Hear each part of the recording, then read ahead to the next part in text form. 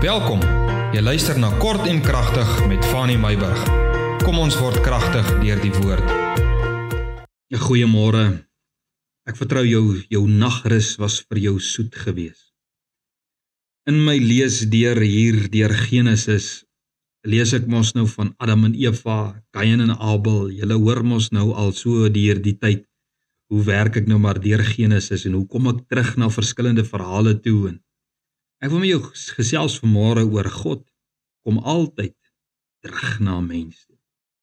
Hoekom sê ek so? Ek sê so want ek sien Adam en Eva het gesondig, het foute gemaak.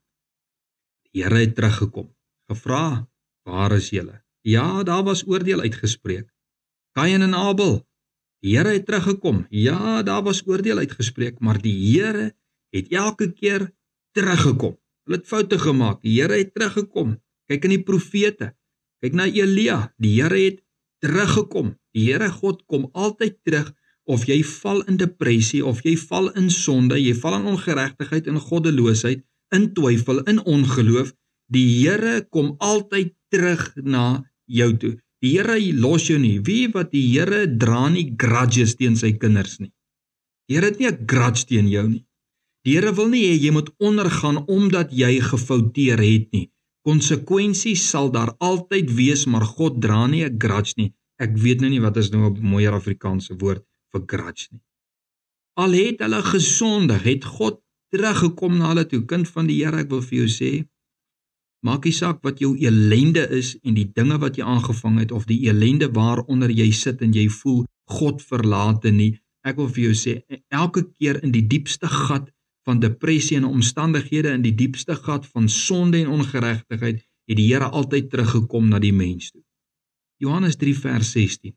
Want so lief het God die wêreld gehad. Want so lief het God die wêreld gehad, nie die Christene nie. So lief het God die wêreld gehad dat hy sy enige gebore seun gegee het sodat elkeen wat aan hom glo ewige lewe kan hê. God het teruggekom. God het die die elende van sy kinders gesien in Egipte. God het teruggekom. God het hulle gaan help. God het hulle gaan haal uit hulle elende uit. God kom altyd terug, altyd. Dis hoekom Jesus die verhaal vertel van die verlore skaap. Hy los die 99 en hy kom terug na die een wat afgedwaal het. God kom altyd terug, kind van die Here. Waar is jy vandag? Wat is jou elende? Wat is jou krisis? God kom altyd terug. Jy skree daar in die veld, miskien soos daardie enkel skaap wat afgedwaal het, daardie alleen lammertjie wat daar eenkant is. Jy jy skree miskien en jy voel elke sekond voel vir jou soos 6 maande, elke dag voel vir jou soos 'n jaar. Maar God kom altyd terug. Ek wil dit net vir jou sê, die Here gaan terugkom. Nie net om jou te kom oordeel nie, nou 'n oordeel oor jou uit te spreek nie, maar om terug te kom om jou te verlos om 'n antwoord te gee vir jou krisis. Jy weet soms kom ons nie terug na God in ons sonde en in ons foute nie. Hoekom nie? Want ons is skaam, ons is teleurgestel. Die Here vra vir Adam en Eva, "Waar is julle?" Kain het vir Abel deur in die veld gaan doodmaak. Hy was eenkant, hy was weg. En daardie eenkant wees, skaam wees, teleurstelling van Adam en Eva. Hulle het hulle self weggesteek omdat hulle skaam was vir die toestand waar hulle hulle self aanbetref het op daardie stadium. Want hulle voel God is sekerlik nou kwaad vir my. God sal my sekerlik nie vergewe nie. My sonde is so groot. Wie hoeveel keer het ek dit al gehoor? Die Here sal my nie uit hierdie ding uithaal nie. Ek het so droog gemaak in my lewe. Hy sal nie hoor nie. Hy sal my nie help nie. Maar ek wil vanmôre vir jou sê God kom altyd terug. Ek lees dit in die hele Bybel. God kom altyd terug. Altyd en God help altyd 'n man as hy geval het. Toe Dawid 'n fout gemaak het, die oordeel van die Here oor sy lewe was, het God teruggekom na hom toe en die Here het hom geseën. Uit daardie krisis uit het daar 'n man wat opgestaan het as 'n opvolger vir sy troon, is daar 'n man gebore. Uit sy ellende het God nog steeds geantwoord. God het teruggekom vir Dawid. God het hom nie net gelos nie.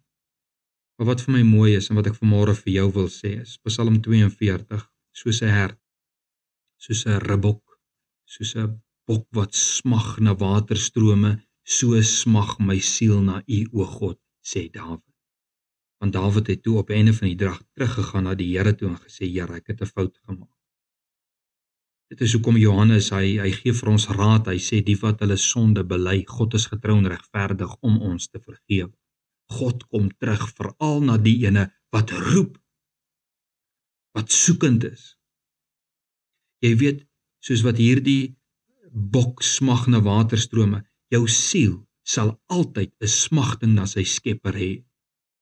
Jy sal miskien afdwaal. Jy sal miskien wonder is die Here kwaad vir my? Die Here sal my nie vergewe nie, maar jou siel sal altyd smag na sy Skepper toe. Daar sal altyd in jou siel 'n leemte wees. Altyd.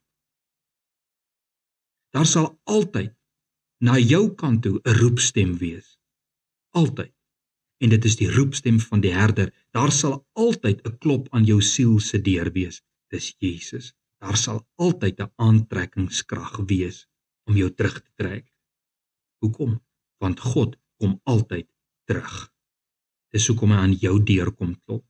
Dis hoekom hy na jou soek. Dis hoekom Jesus sê almal wat dors het, kom na my toe. Dis hoekom daar daar's altyd 'n roepstem. Daar is altyd 'n klop aan jou deur. God kom altyd terug. God los jou nie. Maak nie saak wie is jy, maak nie saak waar in jy vasgevang is nie. Dis my woord vir jou vir vandag. God kom altyd terug. Seën, blydskap, oorwinning tot ons môre verder uit die kosbare woord van die Here gesels.